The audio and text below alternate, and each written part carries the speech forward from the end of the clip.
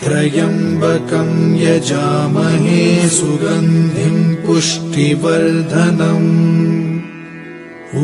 ऊर्वारुकमिव बन्धनान् मृत्योर्मुक्षीयमामृता ஓம் ஸ்ரீ குருப்யோ நமக ஞானபூமி சேனல் வாயிலாக நாம் தொடர்ந்து பார்த்து வரும் ஸ்ரீமத் பகவத்கீதையில் இன்று இரண்டாம் அத்தியாயம் அறுபது அறுபத்தி ஒன்றாவது ஸ்லோகங்களை பார்க்க இருக்கின்றோம். அறுபதாவது ஸ்லோகம். எததோ ஹியபி கௌந்தேய புருஷஸ்ய விபஷ்சிதः இந்திரியாணி பிரமாதீனி ஹரந்தி பிரசபம் மனஹ.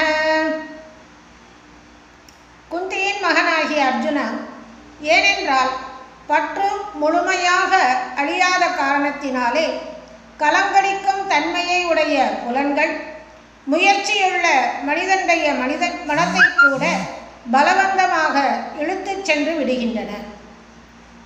நமது மனதிலுள்ள ஆசைகளை முழுமையாக நாம் திறக்க வேண்டும்.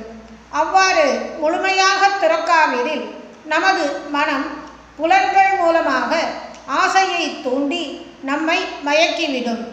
அந்த கரணம் நடங்க துறப்பதுவே எந்த துறவினும் நன்று எந்தாய் பராபரமே என்கின்றார் தாயுமானவர். துறவு அல்லது பற்றில்லாத நிலை என்பது வெளிப்பொருள்களில் மட்டும் பற்று இல்லாதவள் இருப்பதல்ல. மனதிலுள்ள அதன் மீது பற்று இல்லாமல் நாம் இருக்க வேண்டும். உணவு உண்கிறோம். எதற்காக?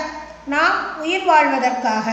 அந்த உணவை ருசிக்காக உண்ணாமல் பசியை நீக்கவும் உயிர் வாழவும் உண்கின்றோம் என்ற எண்ணத்தோடு உண்ணும் பொழுது அதன் மீது உள்ள பற்று நீங்கிவிடுகின்றது இந்த உணவுதான் எனக்கு பிடிக்கும். இந்த உணவு பிடிக்காது என்று சொல்லும் பொழுது உணவின் மீதான பற்று நமக்கு அதிகமாக ஏற்படுகின்றது.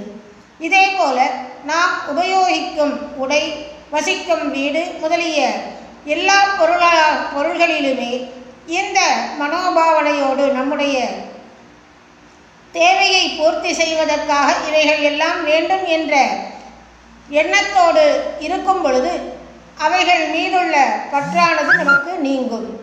ஆடம்பரத்திற்காக என்றோ மற்றவர்களிடம் இருக்கும் பொருள் நமக்கு வேண்டும் என்றோ எண்ணும் பொழுது அதன் மீது பற்றானது அதிகரித்து கொண்டே போகின்றது.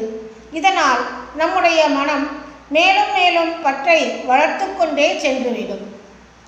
அறுபத்தி ஓராவது ஸ்லோகம். சம்யம்ய யுக்த ஆசீத மத்பரஹ வசேகி यस्येन्द्रियाणि தஸ்ய பிரஜா பிரதிஷ்டிதா. அந்த அனைத்து புலன்களையும் தனக்கு வசப்படுத்தி சித்தத்தையும் ஒருமுகப்படுத்தியவன் என்னையே மேலான கதியாக கொண்டு இருக்கின்றான்.